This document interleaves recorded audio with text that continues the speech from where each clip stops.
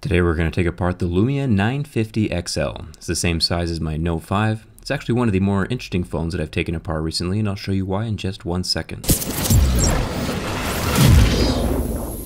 First things first, turn off the phone. The back of the phone is removable, so just put your fingernail underneath the back cover and pop it off. And this exposes the QI charger and the battery. The battery is a 3300 milliamp, which is quite a bit bigger than the Note 5's 3000 milliamp battery. Now there are 12 Torx screws in the back cover. They are a size T5. It might be a T4 as well, just depending on what screwdriver set you have. There are some variances from the Chinese manufacturers. Then to remove the back panel, you put your tweezers underneath by the charging port. Then you lift up. There's a little clasp underneath the camera, as you can see from this angle here. Now here's the interesting part. It's got some normal stuff under there like the earpiece and the loudspeaker and the flash for the camera. And then we have this beautiful copper snake-like component right here. This is actually the water cooling. We got the evaporator and then we have the condenser pipe. So the water heats up inside of the evaporator as it rests next to the processor and either evaporates or gets hot and goes up the pipe and then as it cools down from the copper, it will travel back down the pipe into the evaporator again to recycle the process.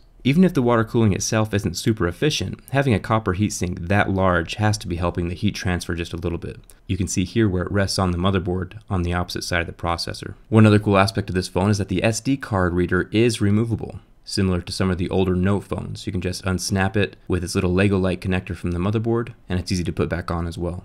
Since this phone isn't super popular, parts are hard to find, but I will link the parts that I do find down in the video description below. Here's the vibrator motor. It's got the dual sizes on it, so it gives a more full vibration.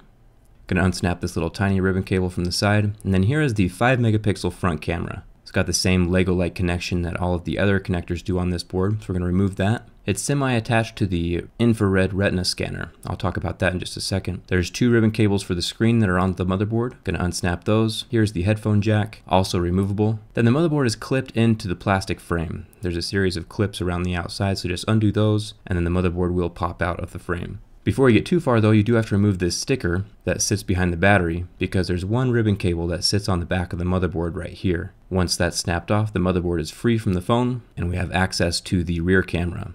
Here is a 20 megapixel rear camera, and here's where that heatsink sits on the back of the processor. Here's the charging port. It is a Type-C charging port. It is not removable. It is soldered very securely onto the main board, so unless you know how to solder, it's not going anywhere. Now here's the infrared iris scanner. So the phone itself can just scan your eye and then unlock the phone. It's used for Windows Hello. Now here's the screen component itself. Now the ideal situation would be to find the screen, which is the glass and the LCD and the frame sold as one unit. But if you cannot find it sold as one unit, it'll probably just be the glass and the LCD, in which case you have to harvest your old frame of the screen and use it with your new one. You just use heat to separate the glass and LCD from the old frame, and then use the adhesive to apply it to the new LCD and glass.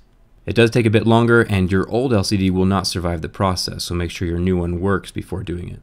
Going to reattach the rear camera and that one small ribbon cable on the back of the motherboard and then set the motherboard down into place, pressing it down into the series of clasps along around the outside. Here's the headphone jack, and clip that down into place. You'll feel it snap down like a little Lego. Here's the 5 megapixel front camera. Gonna clip that in first, and then you can just fold it over the top and press it down into the frame where it belongs. Gonna clip the screen ribbon cables down into place as well, and the small ribbon cable along the side of the board next to the vibrator motor. Then the sticker goes back into place resting right over the top of those ribbon cables. Then the back panel, along with those 12 Torx screws. Battery goes into place.